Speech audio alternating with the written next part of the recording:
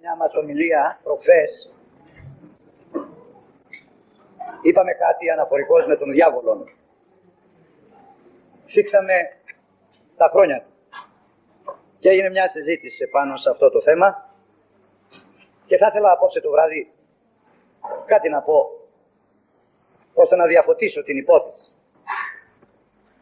Διότι πολλοί άνθρωποι αμφισβητούν την ύπαρξη του σατανά.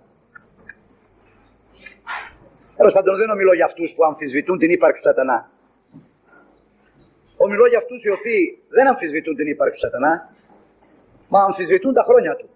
Και απορούν ίσως καλοπροαιρέτως πώς μπορεί να μετρήσει κανείς και να βρει περίπου τα χρόνια του σατανά. Αυτός που δίδει σαφείς ημερομηνίες στα θέματα αυτά είναι αυτός ο Θεός. Δεν υπάρχει τίποτα κρυμμένο από τον άνθρωπο. Αλλά ο άνθρωπος είναι αμελέτητος. Δεν διαβάζει. Όλα τα περιτά διαβάζει. Τα απαραίτητα δεν τα διαβάζει. Γι' αυτό ακριβώς δεν ξέρει. Αν ήθελε λοιπόν να μελετήσει, θα βρίσκε και τα χρόνια περίπου αυτού του σατανά. Αναφέρεται στο βιβλίο του Ιώβ στην Παλαιά Διαθήκη, συγκεκριμένο στο 38ο κεφαλαίο του, ότι όταν ο Θεός δημιουργούσε την γη, τον ενούσαν οι άγγελοι του. Τι βγαίνει από αυτό; Ότι υπήρχε προ του υλικού κόσμου πνευματικός κόσμος. Ένα το κρατούμενο. Όταν τελείωσε τη δημιουργία ο Θεός αναφέρει η Γραφή και έφτιαξε τα πάντα, ετοίμασε το διαμέρισμα τέλειο, έφτιαξε τον καρακάρι τον άνθρωπο. Και τον έβαλε μέσα και του είπε δικά σου όλα. Για σένα αυτά. Χαλάλης σου. Μόνο πρόσεχε αυτό μην το πειράξεις. Γιατί έχει ρεύμα. Άμα το πειράξεις θα καείς.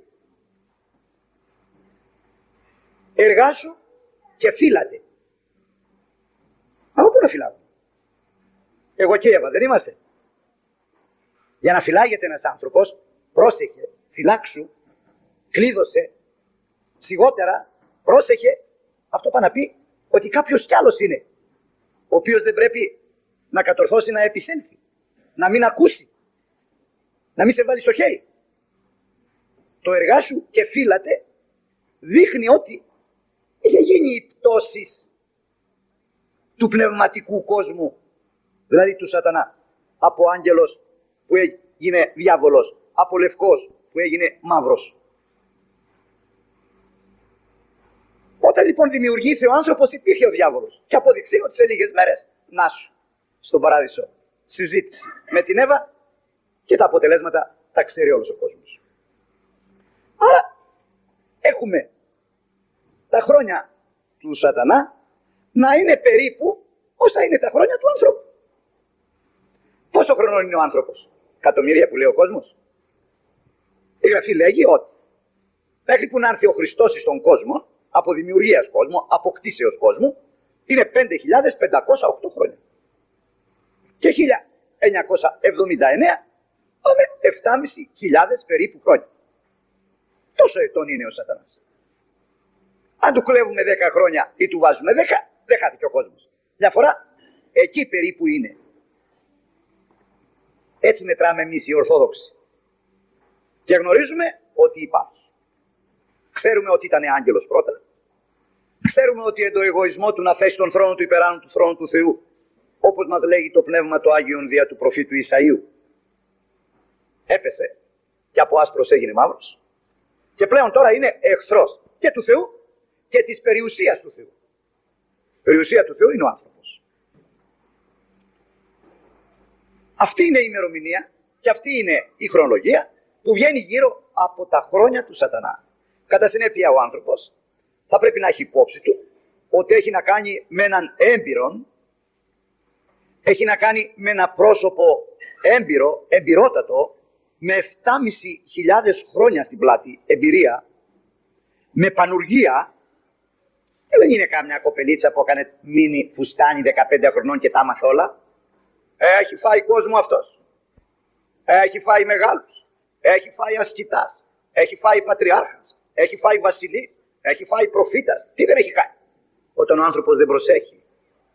Όταν ο άνθρωπος προσέχει, πάντοτε κατεσχύνεται.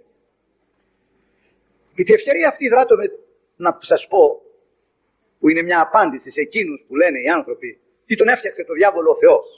Γιατί δεν τον θέλουν, τους πειράζει, θέλουν ησυχία. Μα δεν τον έφτιαξε το διάβολο ο Θεός. Ο Θεός τον έκανε άγγελο το διάβολο.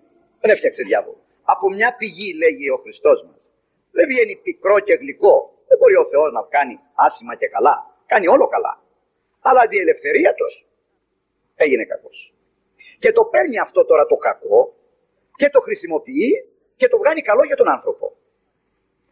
Δεν ξέρω αν ξέρετε. Φροντίστε κανένα φορά όταν πάτε σε φαρμακείο. Πείτε τους, έχετε δηλητήρια εδώ μέσα. Θα σας πούνε ότι έχουν δηλητήρια. Και μάλιστα έχουν ειδικές θήκες που έχουν τα δηλητήρια για να μην τα μπλέξουν κανένα φορά και κάνουν κανένα λάθος. Και φτιάξουν κανένα φάρμακο και δηλητηριάσουν κανέναν. Τι τα κάνετε εδώ τα δηλητήρια, θα τους ρωτήσεις. Αυτά είναι φανατικά. Και τούτε τα χρησιμοποιούμε για φάρμακα. Σε ορισμένες δόσεις το δηλητήριο είναι φάρμακο. Όταν ο άνθρωπος το δηλητήριο το κάνει φάρμακο, το τύριο, γιατί ο Θεός δεν μπορεί να κάνει το διάβολο φάρμακο για τον άνθρωπο; Και ρωτώ, αν δεν υπήρχε διάβολος θα υπήρχε Άγιος. Μη ακούτε τον κόσμο τον άμυαλο που λέει θέλω να γιάσω μα δεν με αφήνουν. Αυτοί που δεν σε αφήνουν, αυτοί θα σε αγιάσουν. Χωρίς τον, κακό, τον κακόν δεν υπάρχει καλός. Μέσα στους κακούς θα φανεί ο καλός. Μέσα των πονηρών θα φανεί ο αγαθός. Μέσα στον άδικο θα φανεί ο δίκαιος. Μέσα στον κλέφτη θα φανεί ο τίμιος. Μέσα στον άτιμο θα φανεί ο σόφρον. Όλοι αυτοί οι Άγιοι που είναι γύρω-γύρω δεν άγιασαν γιατί σαν από την κοιλιά της μάνας του Άγιοι, παλέψαν εναντίον του Σατανά. Ο Σατανάς του αγίασε. Και ο Χριστός, εάν έχει αυτή τη δόξα που έχει, ο διάβολος του την έδωσε τη δόξα αυτή. Γιατί τον ανέβασε στο Σταυρό. Και ο Σταυρός ήταν η δόξα του. Έχετε διαβάσει ποτέ τον Ιωάννη; Διαβάστε στο ζήτα κεφάλαιο να δείτε. Εκεί που λέει ότι δεν είχε έρθει πνεύμα ακόμη Άγιον. Λέει γιατί, διότι ο Χριστός ούπο εδοξάστη. Δεν είχε σταυρωθεί λέει ακόμη. Το Σταυρό τον λέει δόξα. Αλλά εμείς δεν θέλουμε αυτά να τα μάθουμε. Θέλουμε έναν εύκολο δρόμο για τη βασιλεία των ουρανών. Να κάνουμε όλα τα δικά μας, όλα της αρκό μας, όλα του συμφεροντός μας, όλα του κόσμου μας, της μόδα μας, του εγώ μας και να πάμε και στη βασιλεία των ουρανών. Ε, δεν πηγαίνει αυτός ο δρόμος, δεν πάει στη βασιλεία των ουρανών.